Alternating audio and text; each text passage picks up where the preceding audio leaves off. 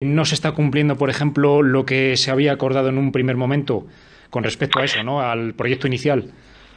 Sí, ese es realmente el problema de fondo. En el año 2002, el Ministerio de Fomento ofreció un proyecto que consistía en soterrar el tren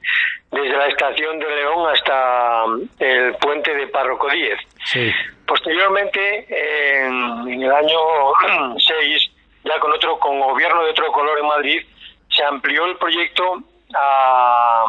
hasta el puente de, de la calle Azorín, el que comunica con el ayuntamiento. Y finalmente hubo un tercer proyecto que incluso lo, lo aumentaba en la extensión hasta la calle Ángel Soto. Después llegó la crisis, cambió el gobierno de nuevo y en el año 14 la ministra de Fomento canceló aquel proyecto arbitrariamente,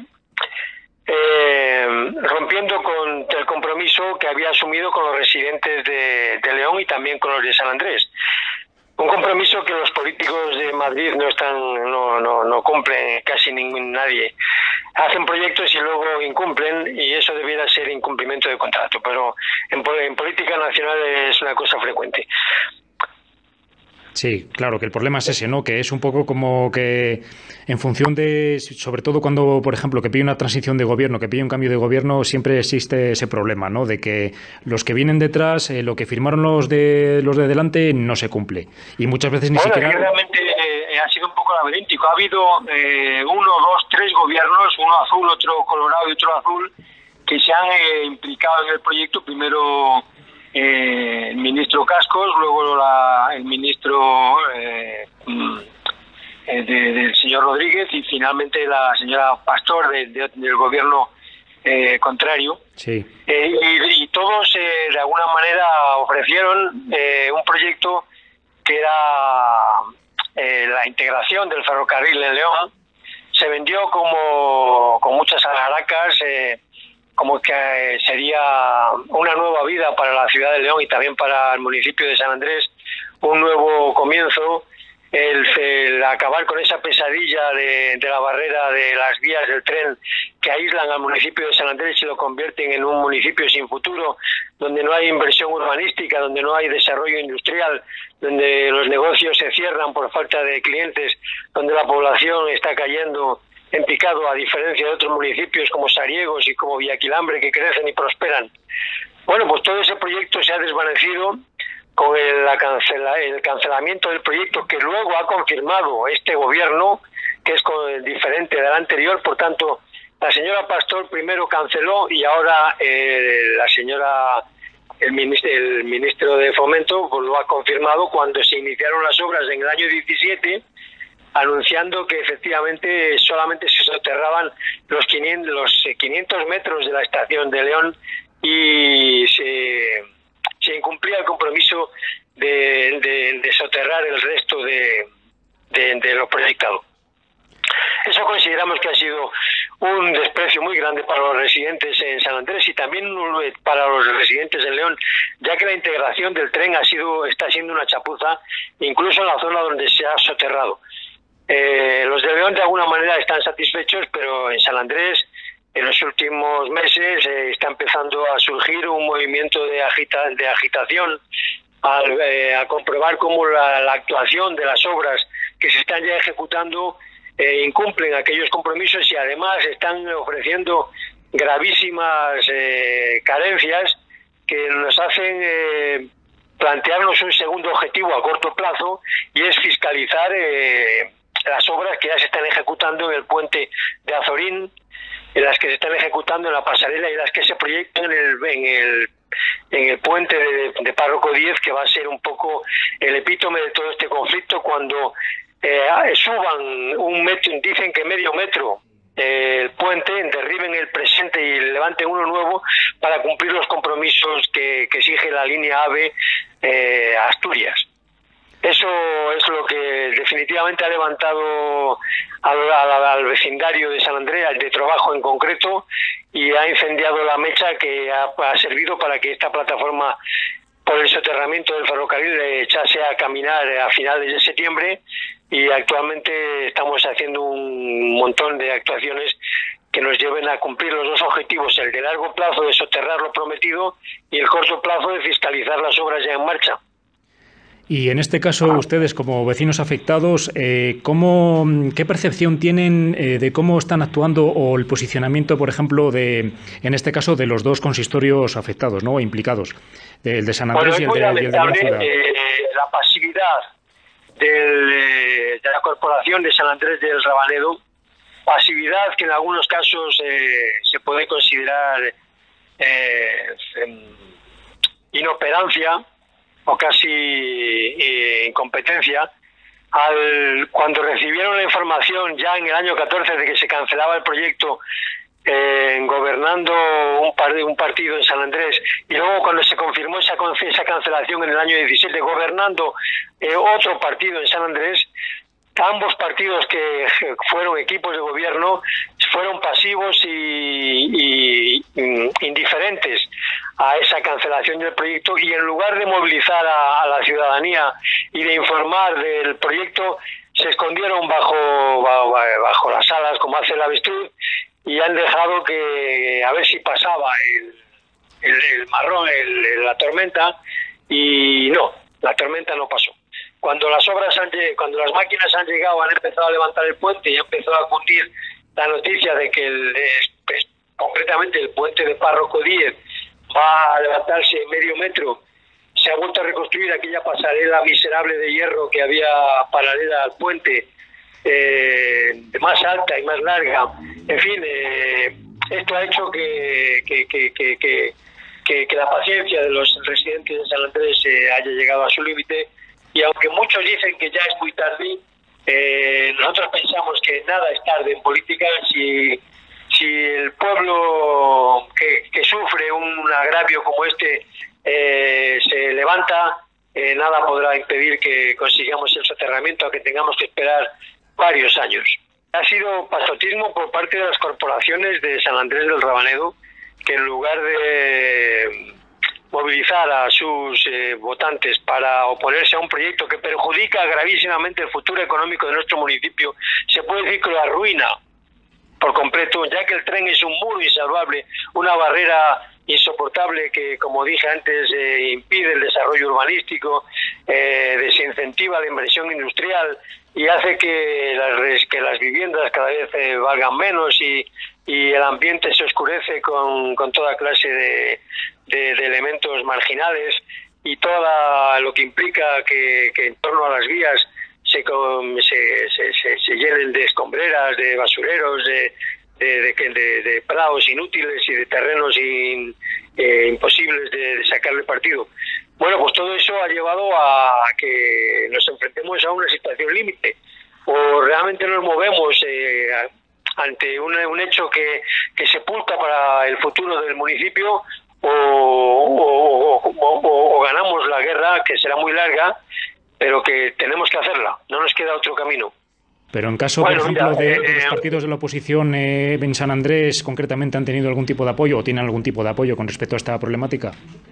Tenemos que decir que desde que se constituyó la plataforma a finales de septiembre, dos docenas de personas, que actualmente somos casi unas 30 personas,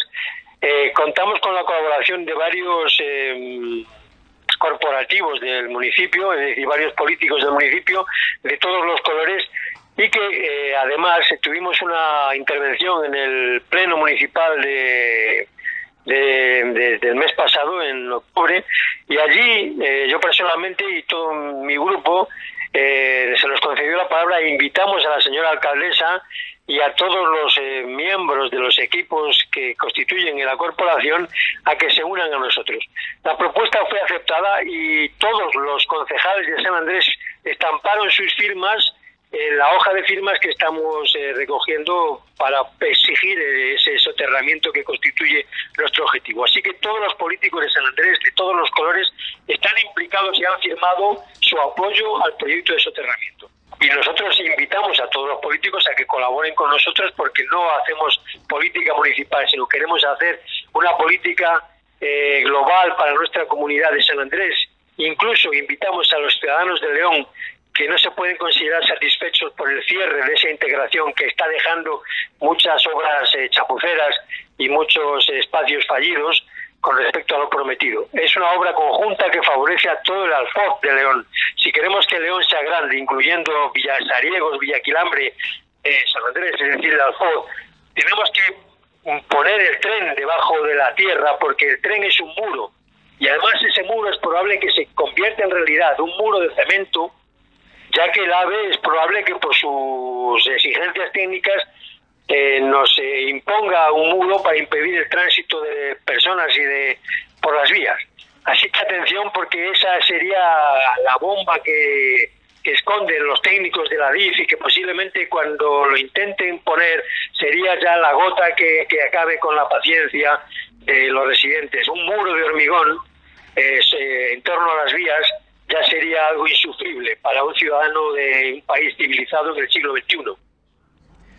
¿Cómo puede usted invitar o cómo le puede decir a la gente que se pongan en contacto con ustedes pues para todos aquellos que quieran unirse a la protesta o que quieran colaborar de, alguna manera? Pues sí, mira, nosotros ya hemos tenido una serie de actuaciones. Tenemos una plataforma en Facebook que se llama Plataforma por el Soterramiento del Ferrocarril. Tenemos casi mil seguidores, otra plataforma en Twitter también con este mismo nombre. Tenemos una recogida de firmas eh, en las que ya hemos eh, colectado casi 4.000 firmas. Eh, no son cuatro firmas, son 4.000 firmas de ciudadanos de San Andrés que ya han expresado su protesta por los hechos y su exigencia de que se reconsidere la situación y se cumpla el compromiso de soterrar.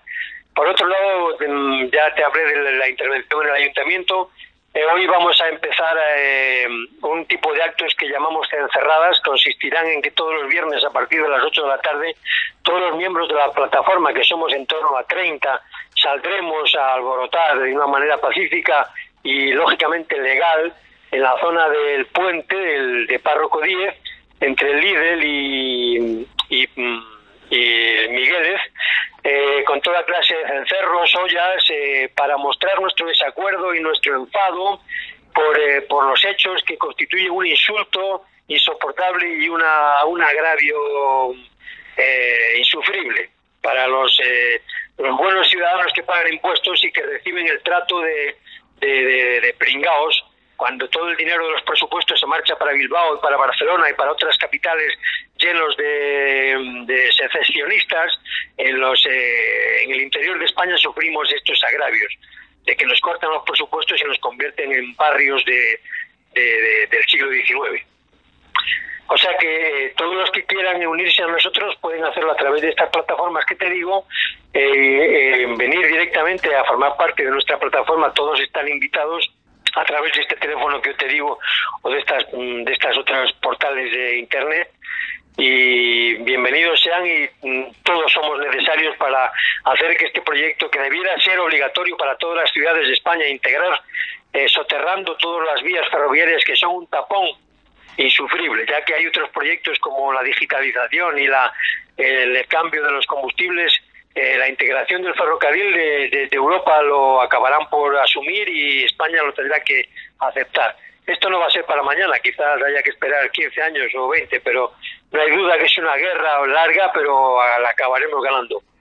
Sí, porque además es otra problemática que se une al ya problemático de por sí desde hace un montón de años del corredor del Mediterráneo, ¿no? Que de hecho esta semana hemos visto cómo, los empresarios de, toda la zona de Levante ya están diciendo, pidiendo por favor, eh, por favor, termínenlo porque nos lo llevan prometiendo desde hace 25 años, ¿no?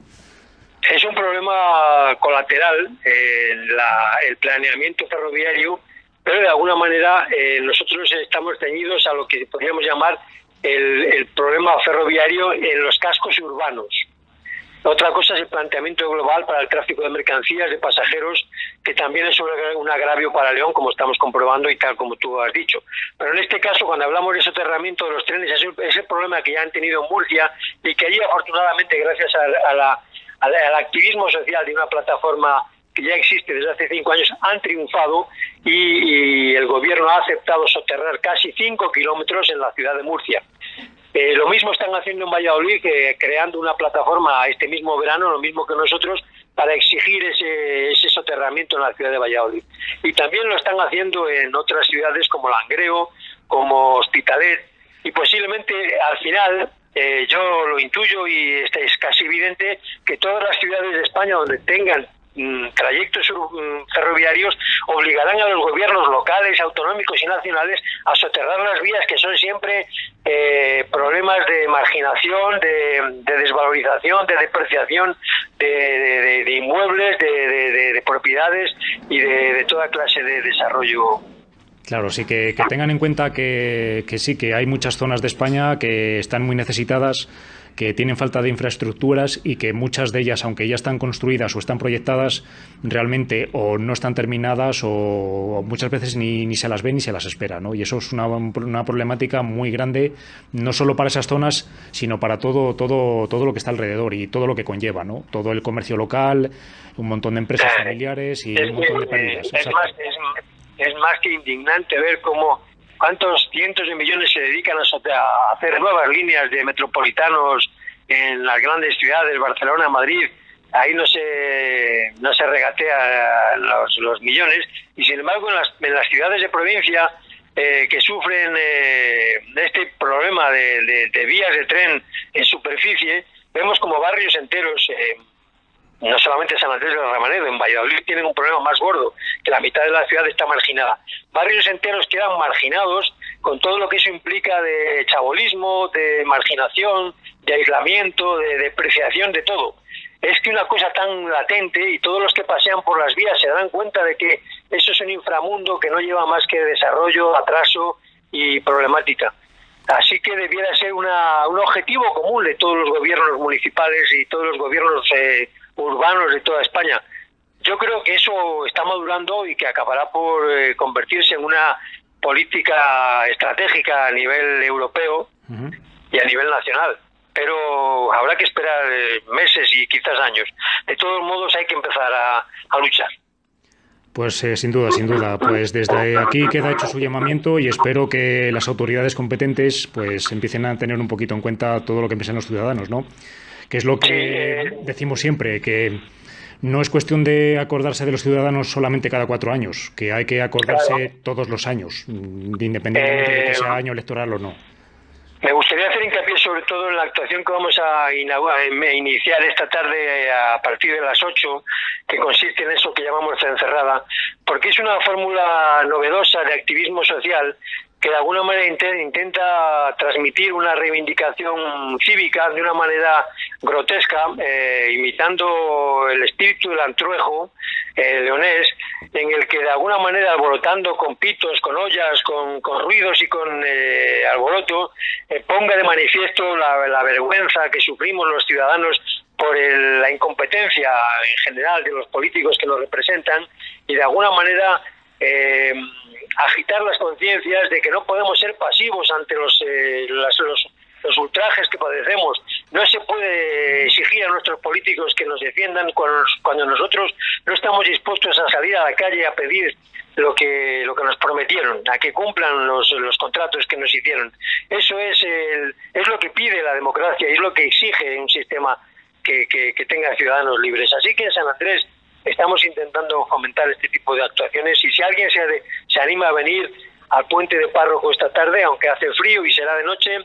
eh, creo que va a ser una novedad y creo que será el germen de algo que, puede ser importante en el futuro. Pues sin duda, sin duda queda, queda hecho el llamamiento, don Matías. Venga, muchas pues, gracias. Pues aquí, lo, pues aquí lo han tenido a don Matías González, al presidente, presidente y portavoz de la, de la plataforma por soterramiento del ferrocarril en San Andrés del Rabanedo. Muchísimas gracias. Y, de verdad, espero, espero que, les tengan en cuenta y que les hagan caso. Vale, gracias a vosotros. Muchísimas gracias por su tiempo. Un saludo. Un saludo.